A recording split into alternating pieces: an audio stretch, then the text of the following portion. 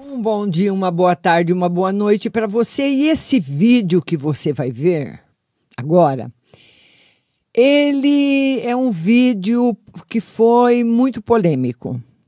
Se trata de um policial militar que diz ter sido atacado numa pizzaria e atirou em quatro pessoas.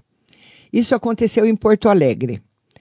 Então, ele disse que ficou encurralado no, na pizzaria e, para se defender, atirou nas pessoas que o atacaram.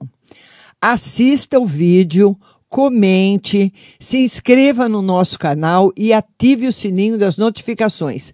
Vamos aos vídeos e ao seu comentário.